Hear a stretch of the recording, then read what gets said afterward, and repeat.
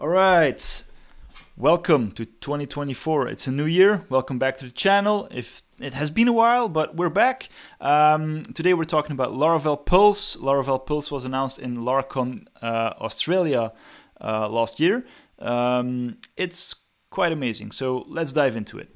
Okay, so Laravel Pulse is actually uh, a tool that allows you to monitor the performance and usage of your uh, application. It will track uh, bottlenecks like slow jobs and endpoints and, and stuff like that.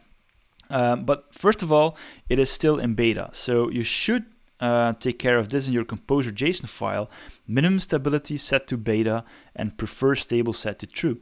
So in your Composer JSON file here, down here at the bottom, I have minimum stability set to beta and prefer stable set to true. Um, after that, you can easily Composer require Laravel Pulse. I already did this um, before recording this video. Uh, so just run that. And after that, you need to publish your service provider for Pulse. So that is PHP Artisan uh, vendor publish dash dash provider and then the path to the Pulse service provider. You can, uh, you must actually run PHP Artisan migrate after that. So Pulse has the needed database tables and publishing your config with uh, this command here, php artisan vendor publish tag pulse config. You can also publish your dashboard and things like that to customize it. Um, and you can even create your own tiles, but we're not covering that in this video. Um, so before recording this video, I created a few things. Some things like routes. I have a very slow route. I have a custom job which is, which is dispatching a job on the high queue. That's a different queue from the default one. We have a custom error which will generate an error. We have uh, on our uh, homepage, we are taking a few users with a little more button and things like that. And we're also dispatching um, with a delay of one minute um, uh, process job on top of that. And we have three jobs actually here. So we have the process slow job, which will, which will sleep for 10 seconds. We have the process job, which is empty. And we have the custom job, which is also empty, but this is the one that we're going to run on the high queue. Um, then we have a test command, which will be ran in the scheduler, but that's for later.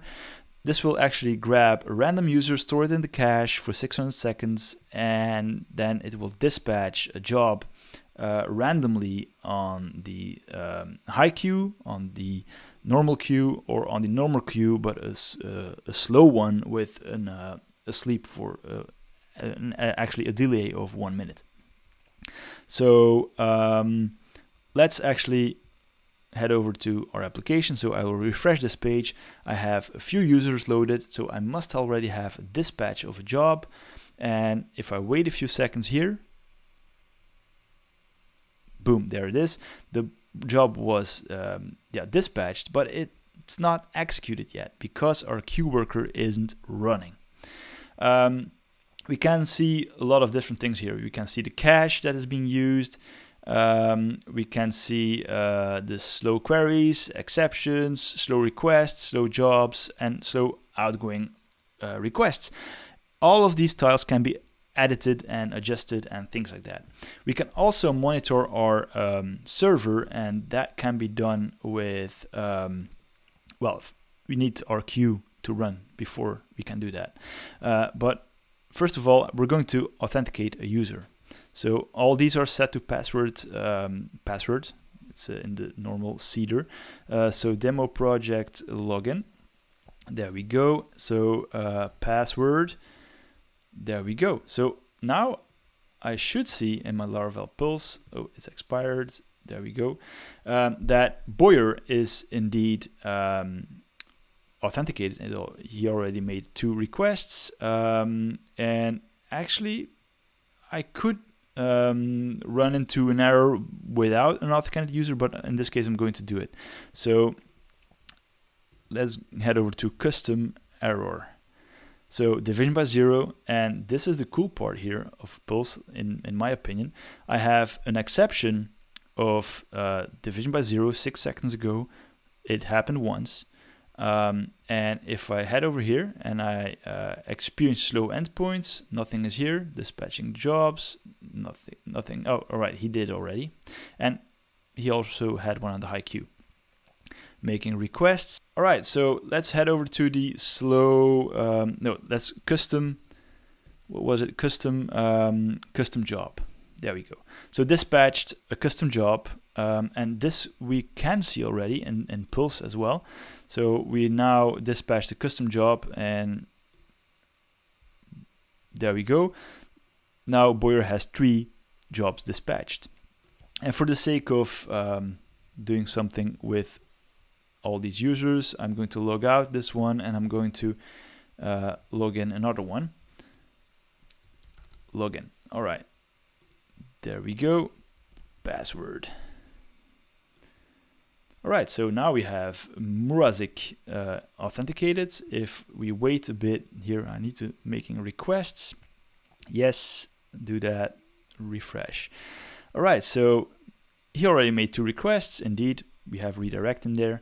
Um, and well, we still don't see any jobs uh, being processed, right? So we need to start up our uh, queue. So PHP artisan artisan um, queue work. And Warp is suggesting me uh, to run not only the default queue, but also the high queue. And I'm using that as well. So let's activate both of them. And the, the jobs that are already in the queue are processed at this moment. Cool. So let me just activate um, another tab here and PHP artisan schedule work. There we go. And this will actually, let's head over to the code in kernel, every minute dispatch the, actually run the app test command. And the test, test command is grabbing that one user, storing it in the cache for 600 seconds, and so on and so on and so on. So, yeah. All right. And you can see already the purple lines, the queues that were in the, the, the sorry, the jobs that were in the queues are already activated as well and ran and processed. So if I refresh again, um, I don't see any slow requests because, all right, I didn't perform any slow requests. So let's head over to the application again and run a slow route. And this will take it its time because I set it to 5 seconds and there we go. And if I wait a bit here there we go. Slow route in the closure took 5 seconds and so on. Alright and why isn't my job um, coming up here uh, because my queue didn't ran no it didn't ran so far. It ran once, so it, we must wait one minute now to actually see it popping up here. But in the meanwhile, I'm also going to, um, well, let's take another tab here and PHP Artisan Pulse check.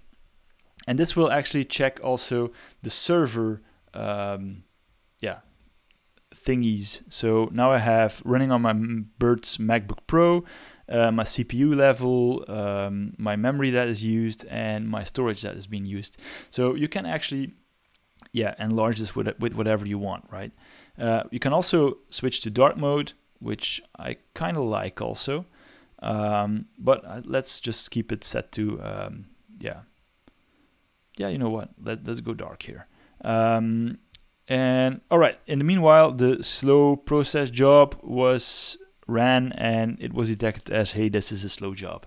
So, well, um, you can also change the time schedule. So the last six hours, 24 hours, and seven days. So it's you can track, yeah, some more time if you want. Um, you can see that already two users were missing and hit rate of 0%, um, which is kind of logic. Um, and Murazik was experiencing that slow that endpoint as well. So that was it. Actually, I'm going to leave this for about an hour and I will walk my dog in the meanwhile and we'll see how all this is looking at yeah an hour from now. All right, so I've been away for about 30 minutes, 40 minutes, like that. Um, let's see, when did I leave? Uh, 1509, and now we're 1541. All right, so I've been away for about a half an hour. And in the meanwhile, um, the queue kept on running, the schedule kept on running, so actually the server was working in the background. Um, you can already see a few things here. Uh, I'm going to zoom in a bit. There we go. Like that. Nope, like that. Um, you can see the purple line of the high queue is actually on top of the gray one. That's because we are using um, queues without delays. In the default one, we are using delays.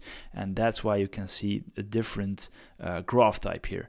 Um, for example, some of them are uh, delayed by a minute, some of them are direct. Uh, so that's why they also not match in an um, yeah in just a, a, shift of them. They are actually torn apart. Um, then we have our cache, which has some hit rate showing up. We have a few misses. We have a lot of users being loaded. Um, and we also have three of them that are hit that were still in the cache. So that's quite cool. Also, let me just zoom out again like that. We can see this awesome little tooltip here that if you head over to um, the memory part here, uh, that shows uh, yeah how much memory was used at which timestamp. And the same thing for the CPU. I think I would use this for sure in production uh, environments um, whenever this is stable enough for production. Uh, it's still in beta, so I'm going to wait until it's officially released for production, and maybe I will, yeah, introduce it to, to some of our um, projects at work. Um, you can also hide the pulse routes uh, behind a gate, uh, so only admin users can actually see these kind of metrics. So yeah, I'm very excited about this. Um, I hope you are as well. I hope you learned a thing or two here. Uh, we have also have other news. Uh, we have our newsletter. We have also um, done our blog again. So I started blogging again. So head over to bert.gent. I will put the the link in the description down below and subscribe to the newsletter as well. And if you're not subscribed to this channel, also do that by hitting the subscribe button down here and yeah, like and share. See you in the next one. Take care. Bye bye.